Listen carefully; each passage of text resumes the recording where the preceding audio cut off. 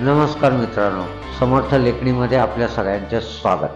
विधानसभा अध्यक्षांनी मीडिया समोर बोलणे माझ्या मते घटनाबाह्य असेच वर्तन आहे. दुसरे मी असे ऐकलं की विधानसभा अध्यक्ष मुख्यमंत्री एकनाथ शिंदे यांना भेटायला त्यांच्या बंगल्यावर गेले. म्हणजे हे असे झाले की जज आरोपीला भेटायला त्याच्या घरी गेले. दुसरे उदाहरण सामंत यांचे. हे तर सांगतायत की त्या कागदावरच्या सह्या खोट्या आहेत. उद्धव ठाकरे यांची कागदपत्रे खोटी आहे. आमची खरी आहे. आमच्यासारख्या सामान्यांना प्रश्न पडतो. की जर एखाद्याला त्यांच्या सह्या खोट्या केल्याचे इतका उशिरा कळते. मग आता सामंत हे मंत्री आहेत मग त्यांच्या आत्तापर्यंत दिलेल्या आदेश कामाच्या ऑर्डर या सर्वांवरच्या सह्या आणि ते सर्व सामंत यांनीच दिलेत का? हे तपासायला लागेल. होऊ शकते सामंत यांना त्यांच्या मागे कोणी खोट्या सह्या केल्या असतील तरी कळणार नाही. किंवा लक्षात येणार नाही.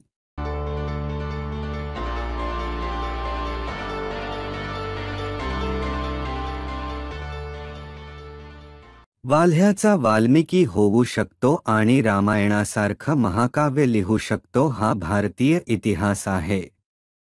भाजपामध्ये प्रवेश करून हिंदुत्ववादी स्वच्छ चारित्र्य संपन्न चेहरा होता येत.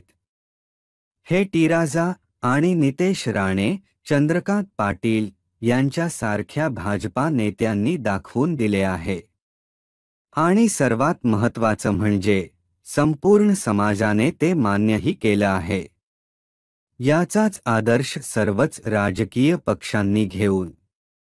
महाराष्ट्रातील तसेच देशातील सर्व हार्डकोअर गुंड गुन्हेगार गँगस्टर डॉन यांना मुख्य प्रवाहात येण्याची संधी मिळवून दिली पाहिजे.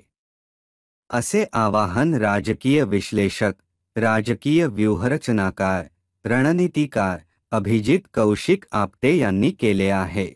भारतीय जनता पार्टीने आणि देवेंद्र फडणवीस यांनी यापूर्वीच सत्तर हज़ार कोटींचा भ्रष्टाचार, महाराष्ट्र सदन घोटाळा, कल्याण डोंबिवली मेट्रो घोटाळा अशा अनेक घोटाळेबाजांना घेऊन त्यांचे डाग पुसलेलेच आहे. समाज शुद्धीकरणाचा मार्ग दाखवल्याबद्दल. भारतीय जनता पार्टीला कोटी कोटी धन्यवाद. आणि सर्वच राजकीय पक्षांना लक्ष लक्ष शुभेच्छा देत. समाज सुधारणेचा मंत्र अभिजित आपटे यांनी दिला आहे. आपले मत आम्हाला नक्की सांगा. सोबतच आमचे चॅनल सबस्क्राईब करायला विसरू नका. आणि हो व्हिडिओ शेअर नक्की करा.